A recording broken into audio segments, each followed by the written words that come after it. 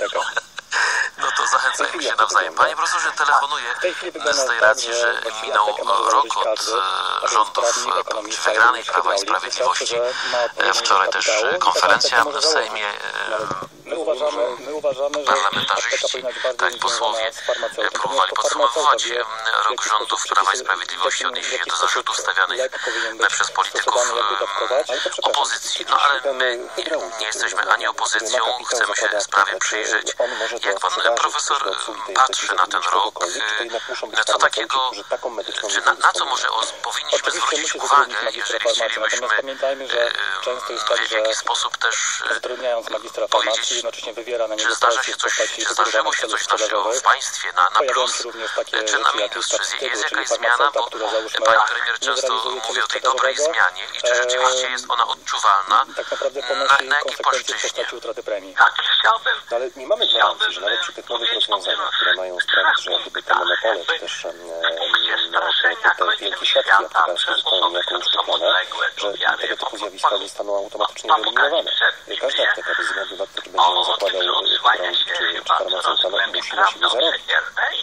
Oczywiście tak, natomiast w aptekach sieciowych generalnie mamy takie zjawisko, w którym pacjent wchodząc do apteki, wnioski. Może naprawdę, działo przez te no, poprzednie lata? chodzimy między półkami i tak naprawdę. Cały czas robiono z samą receptą przychodząc, przychodzą do kasy, często dostawać więcej pieniędzy, ponieważ dodatkowo jeszcze oferowanych jest mu wysokomarżowe suplementy diety, które tak naprawdę nie są mu do niczego potrzebne. W aptece indywidualnej tego rodzaju praktyki nie są stosowane. No to w takim razie jeszcze kolejna kwestia. Tutaj pojawiło się sporo nieścisłości. Pytanie, jak traktować w takim razie te głosy. E, To jest pomysł, aby w aptekach rzeczywiście były sprzedawane tylko lekarstwa farmaceutyki, a różnego rodzaju produkty diety, już niekoniecznie. To jest pomysł, który faktycznie był zgłoszony przez Ministerstwo Zdrowia, natomiast mam wrażenie, że ministerstwo powoli słabodziło, swoje stanowisko. E, My jesteśmy za tym, żeby zarówno suplementy diety, jak również kosmetyki dalej pozostały w aptekach. Jest to ważna część asortymentu. Pacjenci przychodzą do apteki, poszukują tego rodzaju asor- asortymentu, więc nie powinniśmy wyprowadzać tych produktów z aptek. Sam pan przed chwilą mówi, że są takie sytuacje, kiedy ktoś przychodzący z receptą tak naprawdę stoi przy kasie. Nagle się okazuje, że do tego poszyczka, gdzie miał to, to lekarstwo na receptę, e, no chcąc nie chcąc, być może za podszeptem e, pracowników apteki dorzuca sobie kolejne suplementy. Może rzeczywiście że powin, powinien być tego typu krok, skoro przeprowadzamy tak gruntowną zmianę e, w funkcjonowaniu i rozumieniu funkcji apteki, e, to może powinniśmy doprowadzić do tego, czy też wrócić do sytuacji, w której apteka jest rzeczywiście tylko apteką i sprzedaje tylko lekarstwa. Pamiętajmy, że dziś, że część dzisiejszych suplementów diety jeszcze do niedawna była traktowana jako leki, więc mogą one wywoływać działania niepożądane. Podobnie jest w przypadku kosmetyków. Część, część kosmetyków dzisiejszych jest robiona, są specjalne linie produkowane, wypróbowane apteką, więc według nas, według nas te kosmetyki oraz te suplementy powinny pozostać w aptekach. Ile jest dzisiaj e, działających w Polsce aptek? Mamy około 15 tysięcy aptek, z tego jedną trzecią stanowią apteki sieciowe, reszta to apteki indywidualne.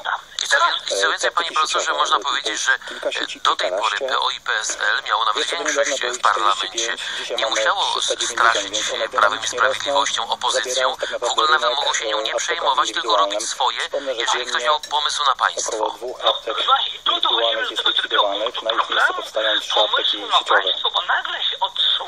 Największa firma dysponuje e, iloma aptekami? Mamy takie dane? No jest to około 120 aptek. Dlaczego dla takiego zwykłego e, chorego, czy też zwykłego e, apteka prowadzona przez e, rodzinną firmę farmaceutów, który z rodziną i z pracownikami prowadzi taką jedną czy też dwie apteki, czy ona będzie lepsza od, od takiej sieciówki, skoro w tej sieciówce, tak jak wspomnieliśmy na początku, mimo tego, że nieważne kto ją zakłada, i. Przede wszystkim dlatego, że w aptece indywidualnej pacjent traktowany jest jako pacjent, natomiast w aptece sieciowej jest traktowany jako klient, pacjent, który ma... To nie jest tylko slogan. To nie jest tylko slogan. Tak naprawdę e, pacjent w aptece sieciowej traktowany jest jako portfel na dwóch nogach. Nie jest farmaceutą farmaceuci, którzy pracują w aptekach sieciowych, mają za zadanie sprzedać jak najwięcej produktów. Ale tu znowu wracamy jakby do tego wyzwania, tego problemu, em, którym jest fakt, iż każda apteka musi na siebie zarobić, bez względu na to, czy to będzie sieciówka, czy to będzie apteka rodzinna.